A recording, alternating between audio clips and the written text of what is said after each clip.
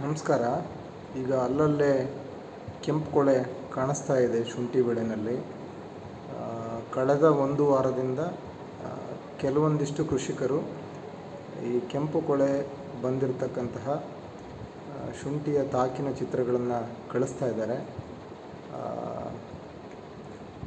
ಅದು ಸಾಧಾರಣ ಮಳೆಗಾಲ ಶುರುವಾದಾಗ ಕೊಳೆನೂ ಕೂಡ ಶುರುವಾಗುತ್ತೆ. ಸೊ, ಹಂಗಾಗಿ ಈಗ ಈ ಮೊದಲೇ ನಾನು ಕೆಂಪು ಕೊಳೆ ಬಗ್ಗೆ ಸಾಕಷ್ಟು ವಿಚಾರಗಳನ್ನ ತಮ್ಮೊಟ್ಟಿಗೆ ಹಂಚ್ಕೊಂಡಿದ್ದೀನಿ. ನಮ್ಮ ಪುಸ್ತಕದಲ್ಲಿಯೂ ಕೂಡ ಅದರ ಬಗ್ಗೆ ವಿಸ್ತೃತವಾದಂತಹ ಒಂದು ವಿಚಾರವನ್ನು ತಾವು ಗಮನಿಸಿರ್ಬೋದು. ಅದೇ ರೀತಿ ಕೆಂಪು ಕೊಳೆಯ ಕುರಿತಾದ ವಿಡಿಯೋ ಕೂಡ ನಮ್ಮ ಯೂಟ್ಯೂಬ್ ಚಾನಲ್ನಲ್ಲಿ ಲಭ್ಯ ಇದೆ. ಆದಾಗ್ಯೂ ಕೂಡ ಕೆಲವೊಂದು ಮಾಹಿತಿಗಳನ್ನು ಈ ಪ್ರಸ್ತುತ ಸನ್ನಿವೇಶಕ್ಕೆ ಸಮೀಕರಿಸಿ ಹೇಳುವ ದೃಷ್ಟಿಯಿಂದ ಮತ್ತು ಕೃಷಿಕರನ್ನು ಈ ಒಂದು ನಿಟ್ಟಿ, ನಿಟ್ಟಿನಲ್ಲಿ ಸ್ವಲ್ಪ ಜಾಗೃತರನ್ನಾಗಿ ಮಾಡಲಿಕ್ಕೋಸ್ಕರ ಈ ಒಂದು ವಿಡಿಯೋದಲ್ಲಿ ನಾನು ತಮಗೆ ಮಾಹಿತಿಯನ್ನು ಕೊಡ್ತಾ ಇದ್ದೇನೆ. ತಮಗೆಲ್ಲ ಗೊತ್ತಿದೆ, ಈ ಕೆಂಪು ಕೋಳೆ ಅಂತ ಏನು ಕರಿತೀವಿ? ಇದು ಪಿ ಟಿ ಎಂ ಎಂಬ ಒಂದು ಶಿಲೀಂಧ್ರದಿಂದ ಬರ್ತಕ್ಕಂತಹ ಪ್ರಮುಖವಾದಂತಹ ರೋಗ. ಸೊ ಕೃಷಿಕರಿಗೆ ಸಿಂಹ ಸ್ವಪ್ನವಾಗಿ ಕಾಡ್ತಕ್ಕಂಥ ರೋಗಗಳಲ್ಲಿ ಇದು ಕೂಡ ಒಂದು, ಕೆಂಪು ಕೊಳೆ. ಸೊ ನಾನೀಗ ಹಸಿರು ಕೊಳೆ ಬಗ್ಗೆ ಹೆಚ್ಚಿಗೆ ಮಾತಾಡೋದಿಲ್ಲ. ಮುಂದೆ ಮಾಡುವ ಮತ್ತೆ ಅದರ ಬಗ್ಗೆ. ಈಗ ಸದ್ಯಕ್ಕೆ ಕೆಂಪು ಕೊಳೆ. ಆದರೆ ನನ್ನ ಇಷ್ಟು ವರ್ಷಗಳ ಒಟ್ಟಾರೆ ಅನುಭವದಲ್ಲಿ ಕೆಂಪು ಕೊಳೆ ಬಂದರೆ ತಾವು ತುಂಬ ಭಯಪಡಬೇಕಾದ ಅವಶ್ಯಕತೆ ಇಲ್ಲ. ಅದನ್ನು ಖಂಡಿತವಾಗ್ಲೂ ನಿರ್ವಹಣೆ ಮಾಡಲಿಕ್ಕೆ ಸಾಧ್ಯ ಇದೆ. ಆದರೆ ಆ ಕೊಳೆ ಕಂಡ ತಕ್ಷಣದಿಂದ ತಾವು ಜಾಗೃತರಾಗಿ ಏನೇನು ಕ್ರಮಗಳನ್ನು ಅನುಸರಿಸಬೇಕು, ಏನು ನಿರ್ವಹಣಾ ಕ್ರಮಗಳನ್ನ ನಾವು ಸೂಚನೆ ಕೊಟ್ಟಿದ್ದೇವೆ ಅದನ್ನೆಲ್ಲ ಭಾಳ ಕರಾರುವಕ್ವಾಗಿ ಮಾಡಿದ್ರೆ ಮಾತ್ರ ನಿರ್ವಹಣೆ ಮಾಡಲಿಕ್ಕೆ ಸಾಧ್ಯ ಆಗುತ್ತೆ. ಇಲ್ಲಾಂದರೆ ಅದು ಹಬ್ತಾ ಹೋಗುತ್ತೆ. ಸೊ, ಆ ಒಂದು ದೃಷ್ಟಿನಲ್ಲಿ ಈ ವಿಡಿಯೋ. ಸೊ, ಅದರ ಒಂದು ಲಕ್ಷಣಗಳು ಬಹುಶಃ ತಮಗೆಲ್ಲ ಗೊತ್ತಿದೆ ಅಂತ ಭಾವಿಸ್ತೀನಿ. ನಾವು ನೋಡೋದಾದರೆ ಅದು ಈ ಪೋಷಕಾಂಶಗಳ ಕೊರತೆ ಥರನೇ ಕಾಣಿಸುತ್ತೆ. ಆದರೆ ಎರಡಕ್ಕೂ ವ್ಯತ್ಯಾಸ ಏನಪ್ಪ ಅಂದರೆ, ಈ ಕೊಳೆ ರೋಗ, ಕೆಂಪು ಕೊಳೆ ರೋಗ ಏನಿದೆ, ಎಲ್ಲ ಗಿಡದಲ್ಲೂ ಒಂದೇ ಸರಿ ಬರಲ್ಲ. ನಿಮ್ಮ ಶುಂಠಿಯ ತಾಕಿನಲ್ಲಿ, ಶುಂಠಿಯ ಫೀಲ್ಡಲ್ಲಿ ಎಲ್ಲೋ ಒಂದು ಕಡೆ ಮೊದಲು ಕಾಣಿಸುತ್ತೆ. ಓಕೆ? ಸೊ ಆಮೇಲೆ ಹಪ್ತಾ ಹೋಗೋದು. ಇದು ತಮಗೆ ಗೊತ್ತಿದೆ, ಒಂದು ಬಿತ್ತನೆ ಗಡ್ಡೆಯಿಂದನೂ ಬರ್ಬೋದು, ಎರಡನೇದು ನಿಮ್ಮ ಮಣ್ಣಿನಲ್ಲಿ ರೋಗಾಣು ಇದ್ದರೂ ಬರ್ಬೋದು ಮೂರನೇದು ಬೇರೆ ಒಂದು ಜಮೀನಿನಿಂದ ಈ ಮಳೆ ನೀರಿನಲ್ಲೂ ಕೂಡ ಇದು ಬೇರೆ ಕಡೆಯಿಂದ ನಿಮ್ಮ ತಾಕಿಗೆ ಬರಲಿಕ್ಕೆ ಸಾಧ್ಯತೆ ಇದೆ. ಸೊ ಈ ಒಂದು ರೀತಿಯಲ್ಲಿ ಅದು ಪಸರಿಸ್ತಾ ಹೋಗುತ್ತೆ.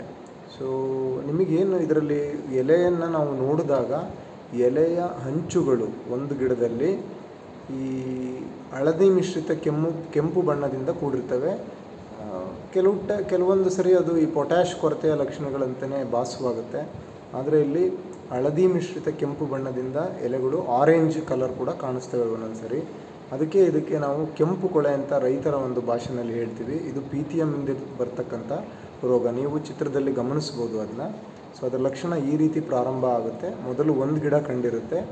ಆಮೇಲೆ ತಾಕಿನಲ್ಲಿ ಸ್ಪ್ರೆಡ್ ಆಗ್ತಾ ಹೋಗುತ್ತೆ. ನಮ್ಮ ರೈತರು ಅದು ಬಂದ ತಕ್ಷಣವೇ ಅಲ್ಲಿಗೆ ಸುಣ್ಣ ಮತ್ತು ಮೈಲ್ತುತ್ತ ಅಥವಾ ಸುಣ್ಣ ಮತ್ತು ಬ್ಲೀಚಿಂಗ್ ಪೌಡ್ರು ಇದನ್ನು ಹಾಕೋ ಪದ್ಧತಿ ಒಂದು ರೂಢಿನಲ್ಲಿದೆ. ಸೊ ಅದು ಅಲ್ಲಿಗೆ ಸ್ಟಾಪ್ ಆಗಿ ಮತ್ತೆ ಬೇರೆ ಕಡೆ ಕಾಣಿಸೋಕ್ಕೆ ಶುರುವಾಗುತ್ತೆ. ಅದು ಮಣ್ಣಲ್ಲೇ ನೀರಿನ ಮೂಲಕ, ಈ ತೇವಾಂಶ ಇರತಕ್ಕಂಥ ಇದ್ರ ಮೂಲಕ ಅದು ಒಂದು ಜಾಗದಿಂದ ಮತ್ತೊಂದು ಜಾಗಕ್ಕೆ ಮೂವ್ ಆಗಿ ಅಲ್ಲಿ ಅದು ಮತ್ತೆ ಒಂದು ಬಾಧೆಯನ್ನು, ಅದು ಲಕ್ಷಣಗಳನ್ನು ಆ ಗಿಡಗಳಲ್ಲಿ ತೋರ್ಸೋಕ್ಕೆ ಶುರುವಾಗುತ್ತೆ. ಈ ರೀತಿಯ ಲಕ್ಷಣಗಳು ನಾವು ಸರಿಯಾಗಿ ನಿರ್ವಹಣೆ ಮಾಡದೇ ಇದ್ದರೆ ದಿನದಿಂದ ದಿನಕ್ಕೆ ನಿಮಗೆ ಬಾಧೆ, ಬಾಧೆಗೊಳಗಾಗಿರ್ತಕ್ಕಂಥ ಗಿಡಗಳ ಸಂಖ್ಯೆ ಜಾಸ್ತಿ ಆಗುತ್ತೆ. ನೀವು ಸರಿಯಾದ ರೀತಿಯಲ್ಲಿ ಸರಿಯಾದ ಕ್ರಮವನ್ನು ಸರಿಯಾದ ಸಮಯದಲ್ಲಿ ತಗೊಳ್ಳಿಲ್ಲ ಅಂದರೆ ಬಹುತೇಕ ನಿಮ್ಮ ಎಲ್ಲ ಶುಂಠಿ ಗಿಡಗಳಿಗೂ ಕೂಡ ಇದು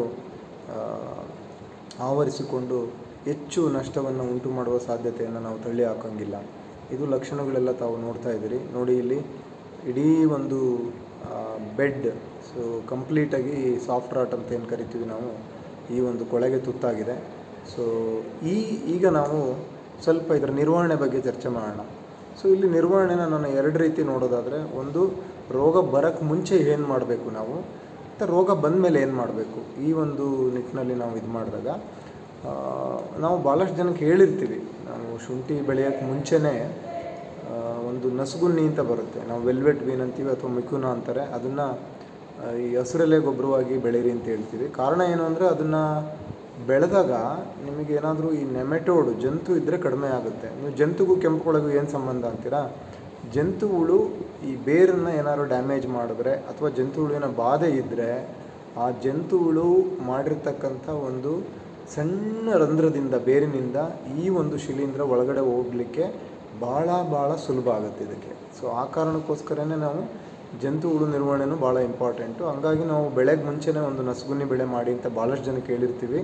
ಆದರೆ ಕೆಲವೇ ಜನ ಮಾಡಿರ್ತಾರೆ. ನಸುಗುನ್ನಿ ಇರ್ಬೋದು, ಸಾಸಿವೆ ಬೆಳೆ ಇರ್ಬೋದು ಅಥವಾ ಕೋಸಿನ ಜಾತಿ ಬೆಳೆಗಳಿರ್ಬೋದು. ಶುಂಠಿಗೆ ಮುಂಚೆ ಆ ಜಮೀನಲ್ಲಿ ಈ ಒಂದು ಮೂರು ಬೆಳೆಗಳನ್ನು ಬೆಳೆದಿದ್ರೆ ತುಂಬ ಒಳ್ಳೆಯದು ಆಗ ಇದರ ಒಂದು ಬರುವಿಕೆ ಅಥವಾ ಇದರ ಒಂದು ತೀವ್ರತೆ ಸ್ವಲ್ಪ ಮಟ್ಟಿಗೆ ಕಡಿಮೆ ಆಗುತ್ತೆ ಅನ್ನೋದು ಒಂದು ಪಾಯಿಂಟು ಎರಡನೇದು ಭಾಳ ಮುಖ್ಯವಾದಂಥ ವಿಚಾರ ಅಂದರೆ ಬಿತ್ತನೆ ಗಡ್ಡೆ. ಅದು ನಿಮ್ಮದೇನ ಅಥವಾ ನೀವು ಬೇರೆಯವರಿಂದ ತಂದಿದ್ದ ಅಂತ. ನಿಮ್ಮದು ಆದರೂ ಕೂಡ ನಿಮಗೆ ಖಂಡಿತವಾಗ್ಲೂ ನಿಮ್ಮ ಕ್ಷೇತ್ರದಲ್ಲಿ ಗೊತ್ತಿರುತ್ತೆ ಯಾವ್ಯಾವ ಬೆಡ್ಡಲ್ಲಿ ಕೆಂಪು ಕೊಳೆ ಬಂದಿತ್ತು, ಹೇಗೆಲ್ಲ ಮಾಡಿದ್ದೀವಿ ಅದನ್ನು, ನಾವು ಅದನ್ನು ಗುರುತು ಮಾಡಿದ್ದೀವಾ ಇಲ್ವಾ? ಅದು ನೋಡಿಕೊಂಡು ಖಂಡಿತವಾಗ್ಲೂ ಕೆಂಪು ಕೊಳೆ ಬರದೇ ಇರೋ ಬೆಡ್ಗಳು ಮತ್ತು ಆ ಬಂದಿರೋ ಬೆಡ್ಡಿನ ಸುತ್ತಮುತ್ತ ಒಂದು ನಾಲ್ಕೈದು ಬೆಡ್ಗಳಿಂದ ಯಾವುದೇ ಕಾರಣಕ್ಕೂ ಬಿತ್ತನೆಗಡ್ಡೆನ ತಗೋಬಾರ್ದು. ಸೊ ಅದು ಭಾಳ ಮನಸ್ಸಲ್ಲಿರಬೇಕು ಆಮೇಲೆ ನೀವು ಬೇರೆಯವ್ರ ಕಡೆಯಿಂದ ಬಿತ್ತನೆ ತೊಗೊಂಡಿದ್ರೆ ನಿಮಗೆ ಅದ್ರ ಮೇಲೆ ಕಂಟ್ರೋಲೇ ಇರೋದಿಲ್ಲ. ಅವರು ಎಲ್ಲದನ್ನು ಬಿತ್ತನೆ ಅಂತಲೇ ಕೊಟ್ಟಿರ್ತಾರೆ. ಸೆಲೆಕ್ಷನ್ ಇರೋದಿಲ್ಲ ನಿಮಗೆ ಅಲ್ಲಿ ಸೆಲೆಕ್ಷನ್ ಮಾಡೋಕ್ಕೆ ಆಯ್, ಆಯ್ಕೆ ಮಾಡ್ಕೊಳಕ್ಕೆ ನಿಮಗೆ ಅವಕಾಶನೇ ಇರೋದಿಲ್ಲ. ಸೊ ಹಂಗಾಗಿ ಭಾಳಷ್ಟು ಜನ ಏನು ಬೇರೆ ಕಡೆಯಿಂದ ಬಿತ್ತನೆ ತಂದಿರ್ತಾರಲ್ಲ, ಅಲ್ಲಿ ಬಿತ್ತನೆ ಗಡ್ಡೆನಲ್ಲೇ ಇದು ಬಂದಿರತಕ್ಕಂಥ ಸಾಧ್ಯತೆ ಹೆಚ್ಚಿಗೆ ಇರುತ್ತೆ. ಆಮೇಲೆ ಬೇರೆಯವ್ರದ್ದಾಗಿದ್ದರೆ ನೀವು ಅವ್ರ ಬೆಳೆ ನೋಡಿರ್ತೀರಾ? ನೋಡಿದಿರೋ ಇಲ್ವೋ ದೇವರಿಗೆ ಗೊತ್ತು. ನೋಡಿದ್ರು ಎಷ್ಟು ಸಲ ನೋಡಿದಿರಿ? ಬೇರೆಯವರಿಂದ ತೊಗೊಳುವಾಗ ಅವರ ಒಂದು ತಾಕಿನಲ್ಲಿ ಇದು ಇಲ್ಲ ಅನ್ನೋದನ್ನು ನೀವು ಖಾತ್ರಿ ಮಾಡ್ಕೋಬೇಕಲ್ವಾ? ಸೊ ಅದು ಭಾಳಷ್ಟು ಜನ ಮಾಡಿರಲ್ಲ ನನ್ನ ಅನುಭವದಲ್ಲಿ. ಹಾಗಾಗಿ ಅಲ್ಲೇ ಅಡ್ವರ್ಟ್ ಆಗೋ ಸಾಧ್ಯತೆ ಕೂಡ ಇರುತ್ತೆ. ಅದರ ನಂತರ ನೀವು ಬೀಜೋಪಚಾರ ಮಾಡಬೇಕಾಗುತ್ತೆ.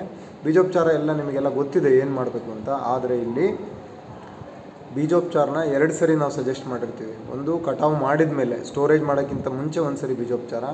ಮತ್ತು ನಾಟಿ ಮಾಡೋಕ್ಕಿಂತ ಮೊದಲೊಂದು ಸರಿ ಬೀಜೋಪಚಾರ. ಭಾಳಷ್ಟು ಜನ ಕಟಾವಾದ ಮೇಲೆ ಬೀಜೋಪಚಾರ ಮಾಡಲ್ಲ, ನಾಟಿಗೆ ಮುಂಚೆ ಮಾಡ್ತಾರೆ. ಅವಾಗ ಏನಾಗುತ್ತೆ ಅಂದರೆ, ಅಕಸ್ಮಾತ್ ಗಡ್ಡೆನಲ್ಲಿ ಬೀಜಾಣು, ಈ ರೋಗಾಣು ಇದ್ದರೆ ಅದು ಅಲ್ಲೇ ಅದು ಇರುತ್ತೆ, ಮತ್ತು ನಿಮಗೆ ಅದು ಲಕ್ಷಣಗಳನ್ನು ತೋರಿಸ್ತಕ್ಕಂಥ ಸಾಧ್ಯತೆ ಇರುತ್ತೆ. ಹಾಗಾಗಿ ನಾವು ಎರಡು ಬಾರಿ ಬೀಜೋಪಚಾರವನ್ನು ಮಾಡಲೇಬೇಕಾಗುತ್ತೆ. ಆಮೇಲೆ ಈ ನಾವು ನಾಟಿ ಟೈಮಲ್ಲೇ ನಾವು ಈ Trichoderma, mycorrhiza, Paecilomyces, Pseudomonas Pochonia E P N ಇವನ್ನೆಲ್ಲ ಹಾಕೋ ಕೇಳಿರ್ತೀವಿ, ಅಥವಾ ಮೆಟ್ರೈಸಿಯಮ್ಮು ಸೊ ಇವನ್ನೆಲ್ಲ ನೀವು ಬೆಡ್ಗೆ ಎನ್ರಿಚ್ ಮಾಡಿಕೊಂಡು ಗೊಬ್ಬರಗಳ ಜೊತೆ ಹಾಕಿ ಅಂತ ಹೇಳಿರ್ತೀವಿ. ಎಷ್ಟು ಜನ ಹಾಕಿದ್ದೀರೋ ಇಲ್ಲೋ ಗೊತ್ತಿಲ್ಲ. ನಮ್ಮ ರೈತರುಗಳು ಭಾಳಷ್ಟು ಜನ ಹಾಕಿದ್ದಾರೆ, ಸಂತೋಷ. ಮತ್ತು ರೋಗ ಬರಲಿ, ಬರದೇ ಇರಲಿ. ಸೊ ನಲವತ್ತೈದು ದಿನ ಆದಮೇಲೆ ನಾಟಿ ಮಾಡಿ, ಒಮ್ಮೆ ನೀವು ಈ ಪೋಸಿಟೈಲ್ ಅಲ್ಯೂಮಿನಿಯಂ, ಅಲಿಯೇಟ್ ಅಂತ ಏನು ಸಿಗ್ತಾಯಿತ್ತು ಅಥವಾ potassium salt of phosphonic acid ಅಂತ ಕರಿತೀವಿ. ಅದನ್ನು ನಲವತ್ತೈದು ದಿನಕ್ಕೆ ಸಿಂಪರಣೆ ಮಾಡಬೇಕು ಎರಡರಲ್ಲಿ ಒಂದನ್ನು. ಶುಂಠಿ ಹಾಕಿದ ಮೇಲೆ ಪಾಸಿಟೈಲ್ ಅಲ್ಯೂಮಿನಿಯಂ ಆದರೆ ಎರಡು gram potassium salt of phosphonic acid ಆದರೆ ಮೂರು ಎಂ ಎಲ್ಲು ಅಥವಾ ಮೂರು ಗ್ರಾಮು ನಲವತ್ತೈದನೇ ದಿನಕ್ಕೆ. ಅರುವತ್ತನೇ ದಿನಕ್ಕೆ ಕೈಟೋಸಾನ್ ಅಂತ ಸಿಗುತ್ತೆ ನಿಮಗೆ product. Chitosan one gram per litre, ರೋಗ ಇರಲಿ ಇಲ್ಲದೆ ಇರಲಿ ಇವೆಲ್ಲ ಮುಂಜಾಗ್ರತಾ ಕ್ರಮಗಳು ನಾನು ಹೇಳ್ತಾ ಇರೋದು. ಸೊ ಅದನ್ನು ಮಾಡಬೇಕಾಗಿರುತ್ತೆ. ಮತ್ತು ಹೆಚ್ಚಿಗೆ ತೇವಾಂಶ ಅಥವಾ ಮಳೆ ಇದ್ದರೆ ಈಗ ನೀವು ಕಳೆದ ಹದಿನೈದು, ಇಪ್ಪತ್ತು ದಿವಸದಿಂದ ನೋಡ್ತಾ ಇದ್ದೀರಿ ತುಂಬ ಹೆಚ್ಚು ಮಳೆ ಇದೆ, ಭೂಮಿನಲ್ಲಿ ಹೆಚ್ಚು ತೇವಾಂಶ ಇದೆ. ಸೊ ಹಂಗಾಗಿ ಈ ಇಂಥ ಒಂದು ಸನ್ನಿವೇಶದಲ್ಲಿ ಮಳೆ ಬಿಡುವನ್ನು ನೋಡಿಕೊಂಡು copper oxychloride C O C ಅಂತ ಏನು ಕರಿತೀವಿ, ಅದು ಮೂರು ಗ್ರಾಮು. ಮತ್ತು ಪಾಸ್ಪೋನಿಕ್ ಆ್ಯಸಿಡ್ ಅಂತ ನಾನು ಆವಾಗಲೇ ಏನು ಹೇಳಿದ್ನಲ್ಲ potassium salt of phosphonic acid ಅಂತ. ಸೊ ಅದು ಒಂದು ಮೂರು ಗ್ರಾಮ್ ಅಥವಾ ಮೂರು ಎಂ ಎಲ್ ಹಾಕ್ಕೊಂಡು ಮುಂಜಾಗ್ರತೆಯಾಗಿ ಸ್ಪ್ರೇ ಮಾಡಬೇಕಾಗುತ್ತೆ. ಮತ್ತು ನಾವು ಈ ಜಂತು ಹುಳದ ಮೇಲೂ ಕೂಡ ಕಣ್ಣಿಡಬೇಕಾಗುತ್ತೆ. ಯಾಕೆಂದರೆ ಅದರಿಂದ ಅದು ಬಂದ ಮೇಲೆ ಇದು ಹರಡೋದು ಸುಲಭ ಇದೆಯಲ್ವಾ? ಆ ಕಾರಣಕ್ಕೆ ಇಷ್ಟು ಮುಂಜಾಗ್ರತಾ ಕ್ರಮಗಳನ್ನು ನಾವು ಮಾಡಿರಬೇಕು. ಸೊ ಈಗ ಕೆಂಪು ಕೊಳೆ ಬಂದಾಗಿದ್ದರೆ ಸೊ ಬರದೇ ಇರೋರು ನಾನೀಗ ಏನು ಹೇಳಿದೆ, ಅದನ್ನೆಲ್ಲ ಅನುಸರಿಸ್ಬೋದು. ಒಂದು ವೇಳೆ ಬಂದಿದೆ, ಒಂದು ಎರಡು ಗಿಡ ನಿಮಗೆ ಜಮೀನಲ್ಲಿ ಕೆಂಪು ಕೊಳೆ ಕಾಣಿಸಿದೆ ಆಲ್ರೆಡಿ ಅಂತ ಹೇಳಿದ್ರೆ ಏನು ಮಾಡಬೇಕು? ಮೊದಲನೇದು, ಈ ರೋಗಗ್ರಸ್ತ ಮತ್ತು ಸುತ್ತಮುತ್ತಲ ಗಿಡ. ಅಂದರೆ ಎಲ್ಲಿ ಬಂದಿದೆ, ಅದರ ಸುತ್ತಮುತ್ತ ಗಿಡಗಳಿಗೆ ಮತ್ತು ಆ ಮಡಿಗೆ ಸುಣ್ಣದ ತಿಳಿನೀರನ್ನು ಹಾಕಬೇಕಾಗತ್ತೆ. ಸುಣ್ಣದ ತಿಳಿನೀರನ್ನು ಹಾಕಬೇಕಾಗತ್ತೆ. ಸೊ ಓಕೆ ಅದನ್ನು ನೀವು ಒಮ್ಮೆ ಕೊಡಿ ನೀವು. ಆಮೇಲೆ ಈ ಬ್ಲೀಚಿಂಗ್ ಪೌಡ್ರ್ ಕೇಳಿದಿರಿ ನೀವು. ಭಾಳ ಕಡಿಮೆ ದರದಲ್ಲಿ ಸಿಗ್ತಕ್ಕಂಥ ಒಂದು ಸ್ಟೆರಿಲೈಸಿಂಗ್ ಏಜೆಂಟ್ ಅಂತ ಹೇಳ್ಬೋದು. ಮತ್ತು ಸುಣ್ಣ. ಇದೆರಡನ್ನೂ ಸಮ ಪ್ರಮಾಣದಲ್ಲಿ. ಅಂದರೆ ನಿಮಗೆ ಅರ್ಥವಾಗಿ ಹೇಳಬೇಕು ಅಂದರೆ ಈಗ ಒಂದು ಕೆ ಜಿ ಬ್ಲೀಚಿಂಗ್ ಪೌಡ್ರ್ ತಗೊಂಡ್ರೆ ಒಂದು ಕೆ ಜಿ ಸುಣ್ಣ ತೊಗೋಬೇಕು. ಈ ಪ್ರಪೋರ್ಷನಲ್ಲಿ ಮಿಕ್ಸ್ ಮಾಡಿಕೊಂಡು ವಾರಕ್ಕೊಂದು ಸರಿ ನಾವು ಮೂರರಿಂದ ನಾಲ್ಕು ವಾರ ಅಲ್ಲಿಗೆ ಹಾಕ್ತಾ ಹೋಗ್ಬೇಕು ಅದನ್ನ ಎಲ್ಲೆಲ್ಲಿ ಕೊಳೆ ಬಂದಿದೆ ಆ ಗಿಡಗಳಿಗೆ ಮತ್ತು ಸುತ್ತಮುತ್ತ ಗಿಡಗಳಿಗೆ ಇದನ್ನು ಒಂದು ಟ್ರೀಟ್ಮೆಂಟ್ ಮಾಡಬೇಕಾಗುತ್ತೆ. ಮತ್ತು ರೋಗ ಕಂಡ ತಕ್ಷಣವೇ ಮೊದಲನೇ ಬಾರಿಗೆ ಫೋಸಿಟೈಲ್ ಅಲ್ಯೂಮಿನಿಯಂ ನಾನೇನು ಅಲಿಯೇಟ್ ಅಂತ ಬ್ರ್ಯಾಂಡ್ ಒಂದಿದೆ, ಬೇರೆ ಬೇರೆ ಬ್ರ್ಯಾಂಡಲ್ಲಿ ಸಿಗ್ಬೋದು. ಎರಡು ಗ್ರಾಮ್ ಪರ್ ಲೀಟ್ರು ಮತ್ತು ಕ್ಲೋರೋಥ್ಯಾಲೋನಿಲ್ ಕವಚ್ ಅಂತ ಕೇಳಿರ್ತೀರಿ ನೀವು. ಅದು ಒಳ್ಳೆ ಫಂಗಿಸೈಡ್ ಇದೆ. ಎರಡೂ ಕಾಂಬಿನೇಷನ್ನು ಕ್ಲೋರೋಥ್ಯಾಲೋನಿಲ್ಲು ಕೂಡ ಎರಡು ಗ್ರಾಮ್ ಫೋಸಿಟೈಲ್ ಅಲ್ಯೂಮಿನಿಯಂ ಎರಡು ಗ್ರಾಮು ಕ್ಲೋರೋಥ್ಯಾಲೋನಿಲ್ ಎರಡು ಗ್ರಾಮು ಮತ್ತು ಒಳ್ಳೆ ಗಮ್ಮು ಸಿಲಿಕೋನ್ ಬೇಸ್ಡ್ ಸ್ಪ್ರೆಡ್ಡರ್ ಅಥವಾ ವೆಟ್ಟಿಂಗ್ ಏಜೆಂಟ್ ಅಥವಾ ಗಮ್ ಅಂತ ಏನು ಕರಿತೀವಿ, ಅದನ್ನು ಒಂದು ಲೀಟ್ರಿಗೆ ಒಂದು ಪಾಯಿಂಟ್ ತ್ರೀಯಿಂದ ಪಾಯಿಂಟ್ ಫೋರ್ ಎಂ ಎಲ್ವರೆಗೂ ಹಾಕ್ಕೊಂಡು ಪ್ರಾಪರಾಗಿ ಸ್ಪ್ರೇ ಮಾಡಬೇಕು. ಎಲೆ ಮೇಲೆ, ಎಲೆ ಕೆಳಗಡೆ ಚೆನ್ನಾಗಿ ಕವರೇಜ್ ಮಾಡಬೇಕು. ಸೊ ಮಳೆ ನೋಡಿಕೊಂಡು ಸ್ಪ್ರೇ ಮಾಡಬೇಕು. ಓಕೆ ಅಕಸ್ಮಾತ್ ನೀವು ಇದೆಲ್ಲ ಮಾಡೋನು ಕೂಡ ರೋಗ ಜಾಸ್ತಿ ಆಗ್ತಾ ಇದೆ. ಇವತ್ತು ಒಂದು ಹತ್ತು ಗಿಡದಲ್ಲಿ ಕಾಣಿಸ್ತಿತ್ತು. ಇನ್ನೊಂದು ನಾಲ್ಕು ದಿನ ಬಿಟ್ಟರೆ ನಿಮಗೆ ಇನ್ನೊಂದು ಹದಿನೈದು ಗಿಡ, ಇಪ್ಪತ್ತು ಗಿಡ ಆಗಿದೆ ಅಂತ ಅನಿಸಿದ್ರೆ ನಿಮಗೆ ಇಮಿಡಿಯೇಟ್ಲಿ ನೀವು ಕಾಪರ್ ಆಕ್ಸಿಕ್ಲೋರೈಡ್ ಏನು ಹೇಳಿದ್ನಲ್ಲ ನೀವು? ಅದು ಒಂದು ಮೂರರಿಂದ ನಾಲ್ಕು ಗ್ರಾಮ್ ಪರ್ ಲೀಟ್ರು ಮತ್ತು ಕಾಪರ್ ಹೈಡ್ರಾಕ್ಸೈಡ್ ಕೋಸೈಡ್ ಅಂತ ಸಿಗ್ತಿತ್ತಲ್ಲ ಡ್ಯೂಪಾಂಟು ಅದು ಎರಡು ಗ್ರಾಮ್ ಪರ್ ಲೀಟ್ರ್ ಅದೆರಡರಲ್ಲಿ ಒಂದು. ಅದ್ರ ಜೊತೆಗೆ ಪೊಟ್ಯಾಷಿಯಮ್ ಪಾಸ್ಪೊನೇಟ್ ಅಥವಾ potassium salt of phosphonic acid ಏನಿದೆಯಲ್ಲ, ಇದನ್ನು ನೀವು ಸಿಂಪರಣೆನೂ ಕೂಡ ಮಾಡಬೇಕಾಗುತ್ತೆ ಮತ್ತು ಡ್ರೆಂಚಿಂಗ್ ಕೂಡ ಮಾಡಬೇಕಾಗುತ್ತೆ. ಸಿಂಪರಣೆಗಾದರೆ ಸಿ ಒ ಸಿ ಮೂರು ಗ್ರಾಮ್ ಇರಲಿ ಡ್ರೆಂಚಿಂಗ್ ಆದರೆ ನಾಲ್ಕು ಗ್ರಾಮು ಕೂಡ ಮಾಡಬೇಕಾಗುತ್ತೆ. ಓಕೆ ಸಿಂಪರಣೆ ನಿಮಗೆ ಬೆಳೆಯ ಒಂದು ಬೆಳವಣಿಗೆಯನ್ನು ಆಧರಿಸಿ ಇನ್ನೂ ಮೂರು ತಿಂಗಳಾಗಿಲ್ಲ ಅಂತ ಹೇಳಿದ್ರೆ ಅಥವಾ ಇನ್ನೂ ಜಾಸ್ತಿ ಬೆಳವಣಿಗೆ ಆಗಿಲ್ಲ ಅಂತ ಹೇಳಿದ್ರೆ ನೂರು, ನೂರೈವತ್ತು ಲೀಟ್ರ್ ಆದರೆ ಮ್ಯಾಕ್ಸಿಮಮ್ ಆಗುತ್ತೆ. ಎಷ್ಟೇ ಚೆನ್ನಾಗಿ ಬೆಳೆದಿದ್ರು ಒಂದು ಇನ್ನೂರು, ಇನ್ನೂರೈವತ್ತು ಲೀಟ್ರ್ ಅಥವಾ ಮುನ್ನೂರು ಲೀಟ್ರ್ ತೊಗೋಬೋದು ಒಂದು ಎಕರೆಗೆ. ಸೊ ಅದು ನೀವು ಎಲ್ಲೆಲ್ಲಿ ಆಗಿರುತ್ತೆ ಅಲ್ಲಿಗೆ ಮಾಡ್ಕೋಬೋದು ಅಥವಾ ಒಂದ್ಸರಿ ಎಲ್ಲದಕ್ಕೂ ಸ್ಪ್ರೇ ಮಾಡ್ಬೋದು. ಮತ್ತು ಯಾವ್ಯಾವ ಮಡಿಗಳಲ್ಲಿ ನಮಗೆ ಕಾಣಿಸೇ ಇಲ್ಲ ಕೆಂಪು ಕೊಳೆ, ಆ ಮಡಿಗಳಿಗೆ ನಾವು ಟ್ರೈಕೋಡರ್ಮಾ, ಸುಡೋಮೊನಾಸು, ಪ್ಯಾಸಿಲೋಮೈಸಿಸು ಮತ್ತು ಎ ಎಂ ಸಿ. ಇವನ್ನ ಡ್ರೆಂಚ್ ಮಾಡಬೇಕು. ಎಷ್ಟು ಮಾಡಬೇಕು? ಇವನ್ನೆಲ್ಲ ಒಂದೊಂದು ಇನ್ನೂರು ಲೀಟ್ರ್ ನೀರನ್ನ ಬ್ಯಾರಲ್ಗೆ ಒಂದೊಂದು ಕೆ ಜಿ ಹಂಗೆ ಹಾಕ್ಕೋಬೇಕು. ಟ್ರೈಕೋಡರ್ಮ ಒಂದು ಕೆ ಜಿ ಸುಡೋಮೊನಾಸ್ ಒಂದು ಕೆ ಜಿ ಪೆಸಿಲೋಮೈಸಿಸ್ ಒಂದು ಕೆ ಜಿ ಮತ್ತು ಎ ಎಂ ಸಿ ಒಂದು ಕೆ ಜಿ ಒಂದು ಲೀಟ್ರು ಅಥವಾ ಒಂದು K G A M C ಎರಡು ಲಿಕ್ವಿಡ್ ಫಾರ್ಮುಲೇಷನು ಬರುತ್ತೆ. ಈ ಡ್ರೆಂಚಿಂಗ್ ಮಾಡಲಿಕ್ಕೆ ಈ ಜೀವಾಣುಗೂ ಏನು ಹೇಳಿದ್ನಲ್ಲ ನಾನು ಜೈವಿಕ ಶಿಲೀಂಧ್ರನಾಶಕಗಳನ್ನು ಲಿಕ್ವಿಡ್ ಫಾರ್ಮುಲೇಷನ್ ತೊಗೊಳ್ಳಿ ಪ್ರತಿಷ್ಠಿತ ಕಂಪನಿಯಿಂದ ತೊಗೋಬೇಕಾಗುತ್ತೆ. ಅದರಲ್ಲಿ ಯಾವುದ್ರದ್ದು ಏನು ಕ್ಲೈಮ್ ಮಾಡಿರ್ತಾರೆ ಅದ್ರ ಕೌಂಟ್ ಇಲ್ಲ ಅಂದರೆ ನಾವು ಮಾಡಿದ್ದು ವೇಸ್ಟ್ ಆಗುತ್ತೆ. ರೋಗ ಬರೋವರೆಗೂ ಈ ಆರೋಗ್ಯಯುತ ಮಡಿಗಳಿಗೆ ಇದನ್ನು ನಾವು ಪ್ರತಿ ತಿಂಗಳಿಗೆ ಒಂದು ಸರಿ ಮಾಡೋದು ಉತ್ತಮವಾದ ಕ್ರಮ ಓಕೆ ಆಮೇಲೆ ಸೊ ಒಂದು ಸರಿ ನಾವು ಇನ್ನೂ ನಿಮಗೆ ಕಂಟ್ರೋಲ್ ಕಡಿಮೆ ಸಿಗ್ತಾ ಇಲ್ಲ ಅಂದರೆ ಈ ಮೆಟ್ಲಾಕ್ಸಿಲ್ ಕೇಳಿದಿರಿ ನೀವು. ಅದು ರಿಡೋಮಿಲ್ ಗೋಲ್ಡ್ ಅಂತ ಕೇಳಿರ್ತೀರಿ. ಸೊ ಈ ಮೆಟ್ಲಾಕ್ಸಿಲ್ ಏನಿದೆ? ಎರಡು ಗ್ರಾಮ್ ಪರ್ ಲೀಟ್ರು ಆದರೆ ಪದೇ ಪದೇ ನಾವು ಮೆಟ್ಲಾಕ್ಸಿಲ್ನ ಯೂಸ್ ಮಾಡೋದು ಬೇಡ. ಸ್ವಲ್ಪ ಬೆಳವಣಿಗೆ ಕುಗ್ಗುತ್ತೆ, ಇಲ್ಲ ಅಂತ ಹೇಳಲ್ಲ. ಸೊ ಆ ಕಾರಣಕ್ಕೆ ಒಂದು ಸರಿ ಮಾತ್ರ ಮೆಟ್ಲಾಕ್ಸಿಲ್ ಎರಡು ಗ್ರಾಮ್ ಪರ್ ಲೀಟ್ರಂಗೆ ನೀವು ಸ್ಪ್ರೇ ಮಾಡ್ಕೋಬೇಕು. ಓಕೆ? ಆಮೇಲೆ ಈ ನೆಮೆಟೋಡ್ ಇದ್ದರೆ ಕಂಪಲ್ಸರಿ ಕಂಟ್ರೋಲ್ ಮಾಡಬೇಕು. ನೆಮೆಟೋಡ್ ಕಂಟ್ರೋಲ್ಗೆ ಅಂತ ನೀವು ಪೆಸಿಲೋಮೈಸಿಸ್ ಹಾಕಿರ್ತೀರಿ ಸ್ಟಾರ್ಟಿಂಗು. ಅಥವಾ ನೀವು ನಿಮಿಟ್ಸು ಅಥವಾ ಈಗೇನು ನೆಮ್ಯಾಟಿಸೈಡ್ಸ್ ಬಂದಿದೆಯಲ್ಲ, ಮೊದಲು ಫೋರ್ ಏಟ್ ಇತ್ತು ಈಗಿಲ್ಲ ಬ್ಯಾನ್ ಆಗಿದೆ. ಸೊ ಹಂಗಾಗಿ ಜಂತುನಾಶಕಗಳನ್ನ ಬಳಸಿರ್ಬೇಕಾಗುತ್ತೆ. ಸೊ ಆಮೇಲೆ ಈ ಕೊಳೆ ರೋಗ ಬಂದಿರೋ ಕಡೆ ನಿಮಗೆ ಗಡ್ಡೆ ನೊಣ ಕೂಡ ಇರೋ ಸಾಧ್ಯತೆ ಇರುತ್ತೆ. ಹಾಗಾಗಿ ನಾವು ಡ್ರೆಂಚಿಂಗ್ ಮಾಡುವಾಗ ಈ ಮಂಡಕ್ಕಿ ಹುಳ ಅಂತ ಕರೀತಾರೆ, ಬಿಳಿ ಹುಳ ಗಡ್ಡೆ ಒಳಗಡೆ. ಸೊ ಅದ್ರ ಜೊತೆ ನಾವು ಸಿ ಒ ಸಿ ಜೊತೆ ಕ್ಲೋರನ್ನು ಸೇರಿಸ್ಕೋಬೇಕಾಗುತ್ತೆ. ಆಮೇಲೆ ಕೆಲವು ಟೈಮು ಗೊಣ್ಣೆ ಹುಳುನೂ ಬಂದಿರುತ್ತೆ, ಬೇರು ಹುಳ ಅಂತ ಕರಿತೀವಲ್ಲ, ಇನ್ನು ಕೆಲವು ಟೈಮ್ ವೈರ್ ವರ್ಮು ಇರುತ್ತೆ. ಈ ನಾಲ್ಕನ್ನು ನಿರ್ವಹಣೆ ಮಾಡಬೇಕಾಗುತ್ತೆ.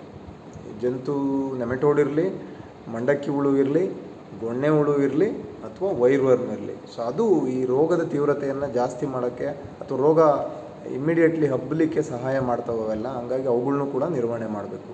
ಮತ್ತು ಕೆಲವರು ಕೇಳ್ತಾರೆ, ಸರ್, ಬರೀ ಸಿಂಪರಣೆ ಮಾಡಿದ್ರೆ ಸಾಕಾ ಅಂತ. ಖಂಡಿತ ಸಿಂಪರಣೆ ಮಾಡಿದ್ರೆ ಸಾಕಾಗೋದಿಲ್ಲ. ಯಾವುದೇ ಕಾರಣಕ್ಕೂ ನೀವು ಸಿಂಪರಣೆನೂ ಮಾಡಬೇಕು, ಡ್ರೆಂಚಿಂಗು ಮಾಡಬೇಕು. ಸಿಂಪರಣೆ ನನಗೆ ಆಲ್ರೆಡಿ ಹೇಳಿದ್ದೀನಿ. ಡ್ರೆಂಚಿಂಗ್ ಎಷ್ಟು ಮಾಡಬೇಕು? ಸೊ ಡ್ರೆಂಚಿಂಗ್ ನಾನು ಹೇಳ್ತಾ ಇರೋದೇನಪ್ಪ ಅಂದರೆ, ಆರೋಗ್ಯವಾಯಿತ ಇರತಕ್ಕಂಥ ಮಡಿಗಳಿಗೆ ಆದಷ್ಟು ಎಲ್ಲ ನಾವು ಈ ನಾನೇನು ಹೇಳಿದ್ನಲ್ಲ Trichoderma Pseudomonas paecilo Paecilomyces A M C ಅದನ್ನು ಮಾಡಿ ಯಾವ್ಯಾವ ಬೆಡ್ಡು ಕೊಳೆ ರೋಗ ಬಂದಿರೋ ಗಿಡ ಇದೆ, ಅದರದ್ದು ಅಕ್ಕಪಕ್ಕದ ಬೆಡ್ಗಳಿಗೆ ಮಾತ್ರ ನಾನು ಮೊದಲೇ ಹೇಳಿದ್ದೀನಿ ಸಿ ಒ ಸಿ ಮತ್ತು ಅಥವಾ ಕಾಪರ್ ಆಕ್ಸೈಡು ಮತ್ತು ಪೊಟ್ಯಾಷಿಯಂ ಪಾಸ್ಪೊನೇಟ್ ಕಾಂಬಿನೇಷನ್ನ ಡ್ರಿಂಚ್ ಮಾಡಿ ಅಂತ ಹೇಳಿದ್ದೀನಿ ಮತ್ತು ಕೆಲವು ಟೈಮ್ ಮೆಟ್ಲಾಕ್ಸಿಲು ಕೂಡ ಮಾಡ್ಬೋದು ನೀವು, ಏನು ತೊಂದರೆ ಇಲ್ಲ. ಮತ್ತು ಈ ಕೊಳೆ ರೋಗದ ನಿರ್ವಹಣೆಯಲ್ಲಿ ನಮಗೆ ಬಸಿಗಾಲುವೆಗಳು ತುಂಬ ಇಂಪಾರ್ಟೆಂಟು ಈಗ ನೋಡಿ ಒಂದು ಕಳೆದ ಒಂದು ಇಪ್ಪತ್ತರ ದಿನದಿಂದ ಸಿಕ್ಕಾಪಟ್ಟೆ ಮಳೆ ಬರ್ತಾ ಇದೆ. ಎಲ್ಲೆಲ್ಲಿ ಬೆಡ್ಗಳು ಚೆನ್ನಾಗಿ ಮಾಡಿದ್ದಾರೆ ಅಲ್ಲಿ ಪ್ರಾಪರ್ ಡ್ರೈನೇಜ್ ನೀರು ನಿಲ್ಲಲ್ಲ. ಬೆಡ್ ಡ್ರೈನೇಜ್ಗಳು ಈ ಚಾನಲ್ಗಳು ಏನು ಅಗಲ ಇಲ್ಲ, ಆಳ ಇಲ್ಲ, ಅಲ್ಲಿ ನಿಮಗೆ ತೇವಾಂಶ ಜಾಸ್ತಿ ಆಗುತ್ತೆ, ಮತ್ತು ಕೊಳೆ ರೋಗನೂ ಜಾಸ್ತಿ ಆಗುತ್ತೆ. ಸೊ ಈ ಒಂದು ಕಾರಣಕ್ಕಾಗಿ ಸೊ ಈ ಅಂಶಗಳನ್ನು ನೀವು ಗಮನದಲ್ಲಿಟ್ಕೊಂಡು ಮಾಡಬೇಕಾಗುತ್ತೆ. ಓಕೆ ಆಮೇಲೆ ನೀವು ಆಲ್ಟರ್ನೇಟಿವ್ ಈ ಮೊದಲನೇ ಸ್ಪ್ರೇ ನೀವು ಏನಾದರೂ ಅಲಿಯೇಟು ಮತ್ತು ಕ್ಲೋರೋಥ್ಯಾಲೋನ್ ಇಲ್ಲಿ ಕೊಟ್ಟಿರ್ತೀರಿ ಅಂತ ಇಟ್ಕೊಳ್ಳಿ. ಒಂದು ಸ್ಪ್ರೇಯಿಂದ ಇನ್ನೊಂದು ಸ್ಪ್ರೇಗೆ ಒಂದು ವಾರನಾದರೂ ಗ್ಯಾಪ್ ಇರಲಿ, ಅಥವಾ ಒಂದು ಹತ್ತು ದಿನನಾದರೂ ಗ್ಯಾಪ್ ಇರಲಿ. ಸೊ ಸೆಕೆಂಡ್ ಟೈಮು ನೀವು ನಾನು ಹೇಳಿದೆ ಸಿ ಒ ಸಿ ಮತ್ತು ಪೊಟ್ಯಾಷಿಯಂ ಫಾಸ್ಫೋನೇಟ್ ಅಂತ. ಸೊ ಮೂರನೇದು ಬೇಕಿದ್ರೆ ನೀವು, ಏನು ಮೆಟ್ಲಾಕ್ಸಿಲ್ ಮ್ಯಾಂಕೋಸೆಬ್ ಅಂತ ಏನಿದೆಯಲ್ಲ, ಅದ್ರ ಜೊತೆನೂ ಕೂಡ ನೀವು ಮಾಡ್ಕೋಬೋದು. ಆಮೇಲೆ ಕೊನೆಗೆ ಒಂದು ಸರಿ ಕಾಪರ್ ಹೈಡ್ರಾಕ್ಸೈಡು ಕೂಡ ಮಾಡ್ಬೋದು. ಆಮೇಲೆ ಕಾಪರ್ ಬೇಸ್ಡ್ ಫಂಗಿಸೈಡ್ಸ್ನ ತುಂಬ ಅತಿ ಹೆಚ್ಚು ಬಳಕೆನೂ ಕೂಡ ಮಾಡೋದು ಬೇಡ. ಸೊ ಆಲ್ಟರ್ನೇಟ್ ಅಷ್ಟೇ ನಾವು ಯೂಸ್ ಮಾಡಬೇಕಾಗುತ್ತೆ. ಸೊ ಈ ರೀತಿಯಾಗಿ ನೀವು ಈ ಕೆಂಪು ಕೊಳೆ ಏನು ಇರುತ್ತಲ್ಲ ಸೊ ಅದನ್ನು ಈ ರೀತಿ ಸಮಗ್ರವಾಗಿ ನಿರ್ಣಯ, ನಿರ್ವಹಣೆ ಮಾಡಬೇಕಾಗುತ್ತೆ. ಮತ್ತು ಇನ್ನೊಂದು ವಿಚಾರ ಏನಪ್ಪ ಅಂದರೆ, ಆ ರೋಗ ಬಂದಿರತಕ್ಕಂಥ ಗಿಡಗಳಿಗೆ ನೀವು ವಾರಕ್ಕೊಮ್ಮೆನಾದರೂ ಈ ಸಿ ಒ ಸಿ ಮತ್ತು ಬ್ಲೀಚಿಂಗ್ ಪೌಡ್ರು ಸೊ ಅದೆರಡನ್ನೂ ಕೂಡ ಬಂದಾಗಿಂದ ಒಂದು ನಾಲ್ಕು ರೌಂಡ್ ಹಾಕಬೇಕಾಗುತ್ತೆ. ಸಿ ಒ ಸಿ ಒಂದು ನಾಲ್ಕು gram per litre bleaching powder ಮೂರು ಗ್ರಾಮ್ ಪರ್ ಲೀಟ್ರ್ ಈ ಪ್ರಪೋರ್ಷನಲ್ಲಿ ಮಾಡಿಕೊಂಡು, ಅದು ನಿಮಗೆ ಚೀಪೆಸ್ಟ್ ಅದು. ಸೊ ಜಾಸ್ತಿ ದುಡ್ಡು ಖರ್ಚಾಗಲ್ಲ. ನೀವು ಅದನ್ನು ಗಮನದಲ್ಲಿಟ್ಕೊಂಡು ಎಲ್ಲೆಲ್ಲಿ ಬಂದಿದೆ ಸೊ ಅಂಥ ಗಿಡಗಳಿಗೆ ಮಾತ್ರ, ಮತ್ತು ಅದ್ರ ಸುತ್ತಮುತ್ತ ಇರೋ ಗಿಡಗಳಿಗೆ ಒನ್ಸ್ ವೀಕ್ ವಾರಕ್ಕೊಂದು ಸರಿ ಒಂದು ತ್ರೀ ಮೂರರಿಂದ ನಾಲ್ಕು ಟೈಮು ಡ್ರೆಂಚ್ ಮಾಡಬೇಕಾಗುತ್ತೆ. ಸೊ ಈ ಎಲ್ಲ ಅಂಶಗಳು ನೀವು ಗಮನದಲ್ಲಿಟ್ಕೊಂಡು ಸೂಕ್ತವಾದ ನಿರ್ಧಾರವನ್ನು ತಗೊಳ್ಳಿ. ಮತ್ತು ಆದಷ್ಟು ತುಂಬ ಹೊಸ ಹೊಸ ಮಾಲಿಕ್ಯೂಲ್ಸ್ ಎಲ್ಲ ಬಂದಿರುತ್ತೆ. ಎಲ್ಲದನ್ನು ಪ್ರಯೋಗ ಮಾಡೋದು ಬೇಡ. ನಿಮಗೆ ಹಣನೂ ಇಂಪಾರ್ಟೆಂಟು ರೋಗನೂ ನಿಯಂತ್ರಣಕ್ಕೆ ಬರಬೇಕಾಗುತ್ತೆ. ಮತ್ತು ಸುಮ್ಮನೆ ಅನ್ನೆಸೆಸರಿ ನಮಗೆ ಬೇರೆ ಬೇರೆ ಫಂಗಿಸೈಡ್ಸ್ ಎಲ್ಲ ಕೊಡ್ತಾರೆ. ಸೊ ಅವೆಲ್ಲವನ್ನು ತೊಗೊಂಬಂದು ಹಾಕೋದು ಬೇಕಾಗಿಲ್ಲ. ಸೊ ಈ ಒಂದು copper based fungicides like copper oxychloride copper hydroxide ಮತ್ತು ನಮ್ಮ fosetyl aluminium chlorothalonil potassium salt of phosphonic acid ಇವನ್ನೆಲ್ಲ ಮತ್ತು ಈ ಬ್ಲೀಚಿಂಗ್ ಪೌಡ್ರು ಇವನ್ನೆಲ್ಲ ನಾವು ಸ್ವಲ್ಪ ಗಮನದಲ್ಲಿಟ್ಕೊಂಡು ಬಳಸ್ಕೊಂಡು ಸೊ ಡ್ರೆಂಚಿಂಗ್ ಇರ್ಬೋದು ಸ್ಪ್ರೇ ಇರ್ಬೋದು, ಮತ್ತು ಬೇರೆ ಕ್ರಮಗಳಿರ್ಬೋದು. ಸೊ ಮತ್ತು ಇನ್ನೊಂದು ಇಲ್ಲಿ ಎಲ್ಲೆಲ್ಲಿ ನಿಮಗೆ ಕೆಂಪು ಕೊಳೆ ಬಂದಿರುತ್ತಲ್ಲ, ಆ ಮಡಿಗಳಲ್ಲಿ ಕಳೆ ತೆಗೆಸ್ಬೇಡಿ ದಯವಿಟ್ಟು. ಓಕೆ ಈ ರೋಗ ಉಲ್ಬಣ ಆಗೋ ಸಾಧ್ಯತೆ ಜಾಸ್ತಿ ಇರುತ್ತೆ. ಸೊ ಹಂಗಾಗಿ ಕಳೆಗಳಿಗೆ ಆ ಬೆಡ್ಗಳಲ್ಲಿ ಕಳೆಗಳಿರಲಿ. ಬೇರೆ ಕಡೆ ಎಲ್ಲ ನೀವು ಕಳೆ ತೆಗೀರಿ ತೊಂದರೆ ಇಲ್ಲ. ಸೊ ಮತ್ತು ಇನ್ನೊಂದು ಜನ, ಇನ್ನಷ್ಟು ಸ್ವಲ್ಪ ಜನ ಏನಾಗಿದೆ ಅಂದರೆ ಗೊಬ್ಬರಗಳ ಹಾಕುವ, ಹಾಕುವಾಗ ಸ್ವಲ್ಪ ಇಂಜುರಿ ಆಗುತ್ತೆ ಗಿಡಗಳಿಗೆ. ನಾವು ಫರ್ಟಿಲೈಸರ್ ಇಂಜುರಿ ಅಂತ ಕರಿತೀವಿ. ಅದಕ್ಕೆ ನೀವು ಈ ರಸಗೊಬ್ಬರಗಳನ್ನ ಹಾಕೋಕ್ಕೆ ಮುಂಚೆ ಒಂದು ಕಾಂಟ್ಯಾಕ್ಟ್ ಫಂಗಿಸೈಡ್ ಅದು ನಿಮಗೆ ಮ್ಯಾಂಕೋಸೆಬ್ ಇರಲಿ ಅಥವಾ ಝೈನೆಬ್ ಇರಲಿ ಕ್ಯಾಪ್ಟಾನ್ ಇರಲಿ, ಈ ಥರದವನ್ನ ಒಂದು ಗೊಬ್ಬರ ಹಾಕೋ ಎರಡು ದಿನ ಮುಂಚೆ ಸ್ಪ್ರೇ ಮಾಡಿಕೊಂಡು ಅದರಲ್ಲೂ ಆ ಕಾಂಡಗಳ ಮೇಲೆ ಭೂಮಿಯಿಂದ ಎಲ್ಲಿ ಕನೆಕ್ಟ್ ಆಗಿರುತ್ತಲ್ಲ ಭೂಮಿಯಿಂದ ಆಚೆ ಬಂದಿರ್ತಾವಲ್ಲ ಮರಿಗಳು, ಆ ಜಾಗ ಎಲ್ಲ ಪ್ರಾಪರಾಗಿ ನೀವು ಈ ಫಂಗಿಸೈಡಿಂದ ನೆನೆಸಬೇಕು. ಅಂದರೆ ಸ್ಪ್ರೇ ಮಾಡಬೇಕು ಅದ್ರ ಮೇಲೆ ಗಮ್ ಹಾಕ್ಕೊಂಡು. ಆಮೇಲೆ ನೀವು ಗೊಬ್ಬರಗಳು ಹಾಕ್ಕೊಂಡ್ರೆ ಒಳ್ಳೆಯದು ಮತ್ತು ಈ ಸರಿ ತುಂಬ ಜನ ಮಳೆ ಕಾರಣದಿಂದ ಗೊಬ್ಬರಗಳನ್ನ ಕೊಡೋಕ್ಕಾಗಿಲ್ಲ ಗೊಬ್ಬರಗಳು ಕೊಟ್ಟಿಲ್ಲ ಅಂದರೆ ಗಿಡ ವೀಕ್ ಆಗುತ್ತೆ ಖಂಡಿತ. ಯಾಕೆಂದರೆ ಶುಂಠಿ ಎರಡು ತಿಂಗಳಿಂದ ನಾಲ್ಕು ತಿಂಗಳವರೆಗೂ ಅತಿ ಹೆಚ್ಚು ಒಂದು ಅರವತ್ತರಿಂದ ಎಪ್ಪತ್ತು ಪರ್ಸೆಂಟ್ ಗೊಬ್ಬರಗಳನ್ನ ಕೇಳುತ್ತೆ. ಸೊ ಆದ ಆ ಎಲ್ಲ ಕಾರಣಗಳಿಂದ ಈ ಸಮಸ್ಯೆಗಳನ್ನ ಉಲ್ಬಣ ಆಗೋ ಸಾಧ್ಯತೆ ಇರುತ್ತೆ. ಇವನ್ನು ಗಮನದಲ್ಲಿಟ್ಕೊಂಡು ನೀವು ಸೂಕ್ತವಾದ ನಿರ್ಧಾರವನ್ನು ಸೂಕ್ತವಾದ ನಿರ್ವಹಣಾ ಕ್ರಮವನ್ನು ಸರಿಯಾಗಿ ಮಾಡಿ.